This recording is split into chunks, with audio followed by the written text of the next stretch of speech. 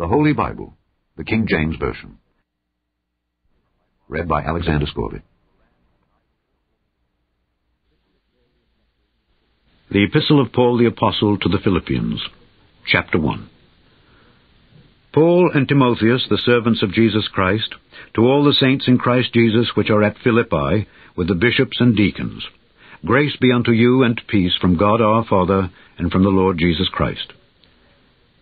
I thank my God upon every remembrance of you, always in every prayer of mine for you all making request, with joy for your fellowship in the gospel from the first day until now, being confident of this very thing, that he which hath begun a good work in you will perform it until the day of Jesus Christ. Even as it is meet for me to think this of you all, because I have you in my heart, inasmuch as, both in my bonds and in the defense and confirmation of the gospel, ye all are partakers of my grace. For God is my record, how greatly I long after you all in the bowels of Jesus Christ. And this I pray, that your love may abound yet more and more in knowledge and in all judgment, that ye may approve things that are excellent, that ye may be sincere and without offense till the day of Christ, being filled with the fruits of righteousness which are by Jesus Christ, unto the glory and praise of God. But I would ye should understand, brethren, that the things which happened unto me have fallen out rather unto the furtherance of the gospel, so that my bonds in Christ are manifest in all the palace and in all other places. And many of the brethren in the Lord, waxing confident by my bonds, are much more bold to speak the word without fear. Some indeed preach Christ even of envy and strife, and some also of good will. The one preach Christ of contention, not sincerely, supposing to add affliction to my bonds, but the other of love, knowing that I am set for the defense of the gospel. What then? Notwithstanding, every way, whether in pretense or in truth, Christ is preached, and I therein do rejoice, yea, and will rejoice. For I know that this shall turn to my salvation, through your prayer and the supply of the Spirit of Jesus Christ. According to my earnest expectation and my hope, that in nothing I shall be ashamed, but that with all boldness, as always, so now also Christ shall be magnified in my body, whether it be by life or by death. For to me to live is Christ, and to die is gain. But if I live in the flesh, this is the fruit of my labor. Yet what I shall choose, I wot not. For I am in a strait betwixt two, having a desire to depart and to be with Christ, which is far better. Nevertheless, to abide in the flesh is more needful for you. And having this confidence, I know that I shall abide, and continue with you all for your furtherance and joy of faith, that your rejoicing may be more abundant in Jesus Christ for me by my coming to you again. Only let your conversation be as it becometh the gospel of Christ, that whether I come and see you, or else be absent, I may hear of your affairs, that ye stand fast in one spirit, with one mind striving together for the faith of the gospel, and in nothing terrified by your adversaries, which is to them an evident token of perdition, but to you of salvation, and that of God. For unto you it is given in the behalf of Christ not only to believe on him, but also to suffer for his sake, having the same conflict which ye saw in me, and now hear to be in me. Chapter 2 If there be therefore any consolation in Christ, if any comfort of love, if any fellowship of the Spirit, if any bowels and mercies, fulfill ye my joy, that ye be like-minded, having the same love, being of one accord, of one mind. Let nothing be done through strife or vainglory. But in lowliness of mind let each esteem other better than themselves. Look not every man on his own things, but every man also on the things of others. Let this mind be in you, which was also in Christ Jesus, who being in the form of God, thought it not robbery to be equal with God, but made himself of no reputation, and took upon him the form of a servant, and was made in the likeness of men.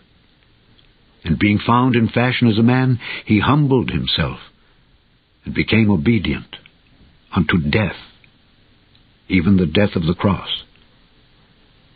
Wherefore God also hath highly exalted him, and given him a name which is above every name, that at the name of Jesus every knee should bow, of things in heaven and things in earth and things under the earth, and that every tongue should confess that Jesus Christ is Lord, to the glory of God the Father.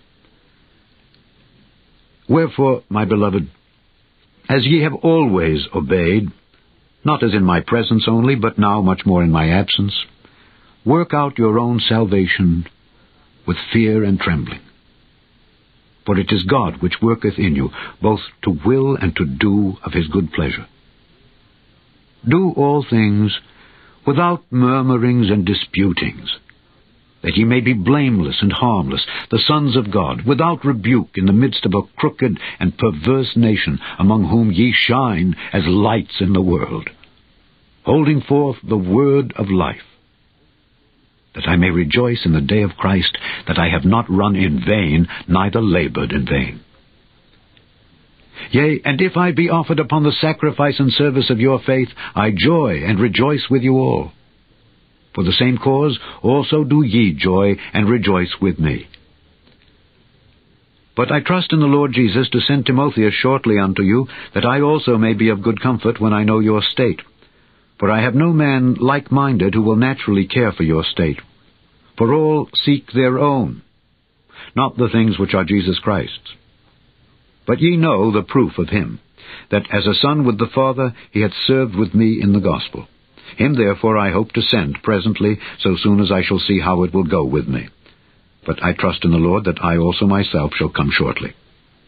Yet I supposed it necessary to send to you Epaphroditus, my brother and companion in labor and fellow soldier, but your messenger, and he that ministered to my wants. For he longed after you all, and was full of heaviness, because that ye had heard that he had been sick. For indeed he was sick nigh unto death.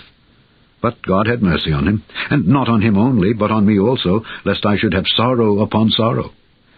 I sent him therefore the more carefully, that when ye see him again ye may rejoice, and that I may be the less sorrowful. Receive him therefore in the Lord with all gladness, and hold such in reputation. Because for the work of Christ he was nigh unto death, not regarding his life, to supply your lack of service toward me. Chapter 3 Finally, my brethren, rejoice in the Lord. To write the same things to you, to me indeed is not grievous, but for you it is safe. Beware of dogs. Beware of evil workers. Beware of the concision. For we are the circumcision, which worship God in the Spirit, and rejoice in Christ Jesus, and have no confidence in the flesh. Though I might also have confidence in the flesh. If any other man thinketh that he hath whereof he might trust in the flesh, I more circumcised the eighth day, of the stock of Israel, of the tribe of Benjamin, and Hebrew of the Hebrews. As touching the law, a Pharisee.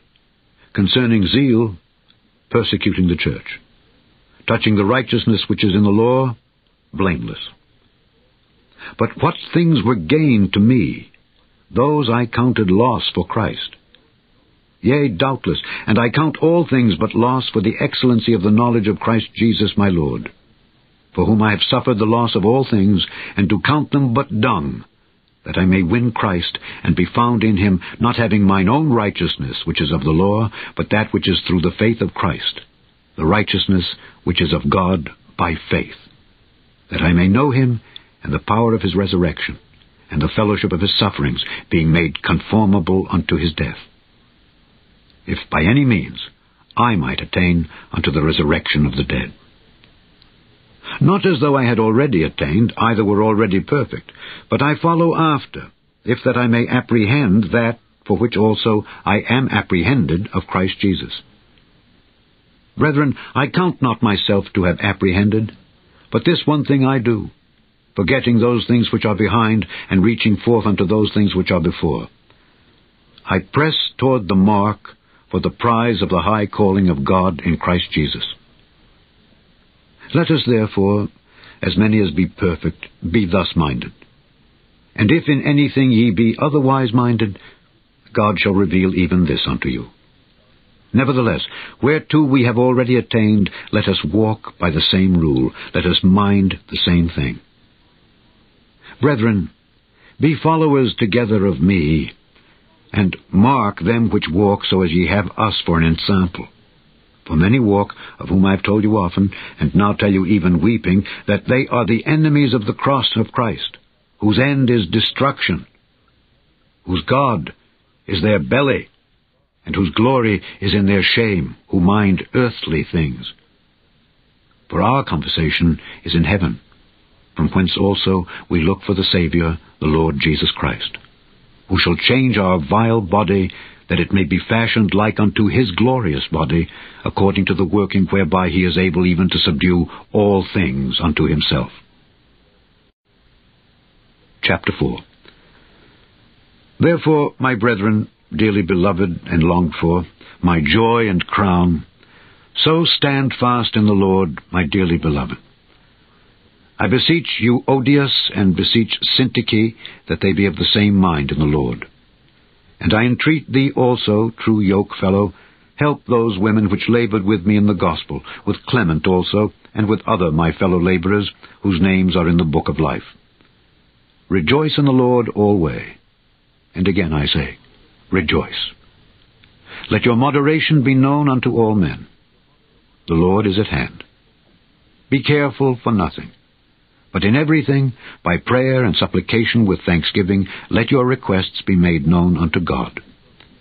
And the peace of God, which passeth all understanding, shall keep your hearts and minds through Christ Jesus.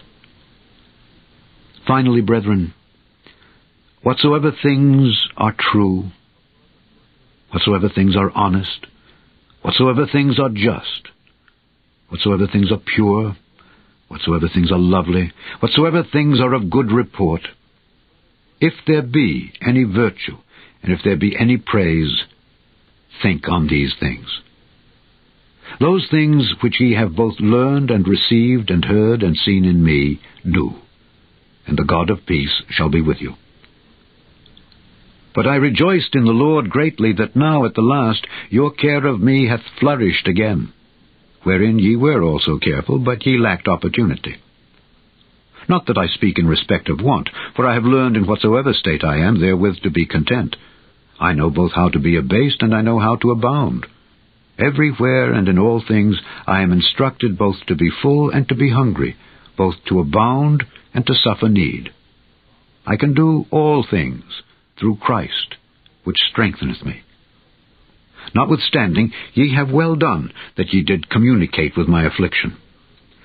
Now ye Philippians know also that in the beginning of the gospel, when I departed from Macedonia, no church communicated with me as concerning giving and receiving, but ye only. For even in Thessalonica ye sent once and again unto my necessity. Not because I desire a gift, but I desire fruit that may abound to your account. But I have all and abound. I am full, having received of Epaphroditus the things which were sent from you, an odor of a sweet smell, a sacrifice acceptable, well-pleasing to God. But my God shall supply all your need according to his riches in glory by Christ Jesus. Now unto God and our Father be glory for ever and ever. Amen. Salute every saint in Christ Jesus. The brethren which are with me greet you. All the saints salute you chiefly they that are of Caesar's household. The grace of our Lord Jesus Christ be with you all. Amen. The end of the Epistle of Paul the Apostle to the Philippians.